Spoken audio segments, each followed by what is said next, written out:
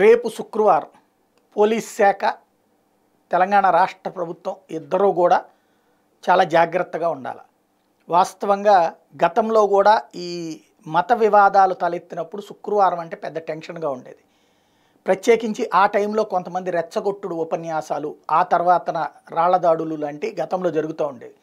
తర్వాత కాలంలో ఇవి దాదాపుగా రెండు వేలు ఆ సందర్భంలో కనబడ్డటువంటి ఈ తర్వాత కంట్రోల్ అయినాయి.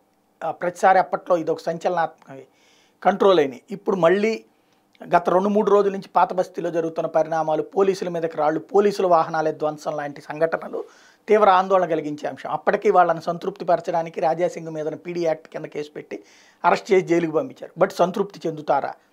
ఒకసారి దారి తప్పిన తర్వాత చాలా ప్రమాదకరం. కొంతమంది నిన్న మాట్లాడినట్టు నిన్న నినాదాలు ఉన్నాయి. ఆర్ఎస్ఎస్ వాళ్ళని చంపేయాలి.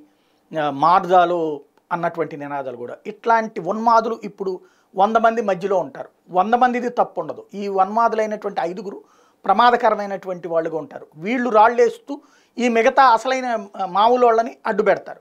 పోలీసులు కానీ ఎవరన్నా వాళ్ళ మీదకి వెళ్తే అదిగో చూసారా మొత్తం మా మా మతాన్ని అందరినీ దెబ్బతీశారనేటువంటి రచ్చ చేసి ఓవరాల్గా ఒక అశాంతిని రేకెత్తించేటువంటి శక్తులు ఇందులో ప్రవేశిస్తూ ఉంటారు. ఇట్లాంటి వాళ్ళ పట్ల చాలా జాగ్రత్తగా ఉండాలి. బ్యాలెన్స్డ్గా ఆలోచించుకోవాలి.